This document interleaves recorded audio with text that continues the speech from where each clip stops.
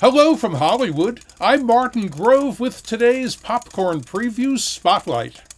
Walking tall. We always want tall, but Jet, the greatest.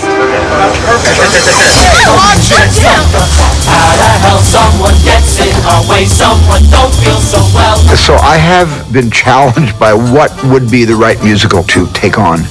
And I could never forget my childhood.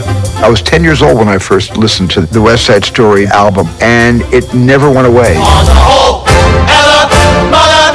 To have been able to fulfill that dream and keep that promise that I made to myself, you must make West Side Story.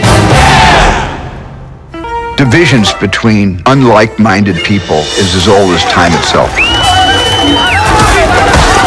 And the divisions between the Sharks and the Jets in 1957, which inspired musical, were profound, but not as divided as we find ourselves today.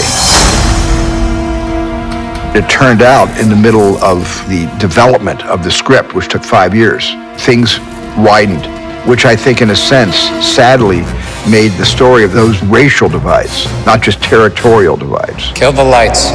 More relevant to today's audience than perhaps it even was in 1957. One of your own kind, stick to your own kind. It's such a profound story. It speaks to every generation. I'm a Puerto Rican. Is that okay? That I'm not? I don't know. It's just that love bridges every divide. It's timeless in the sense that we be reminded of that story as often as possible.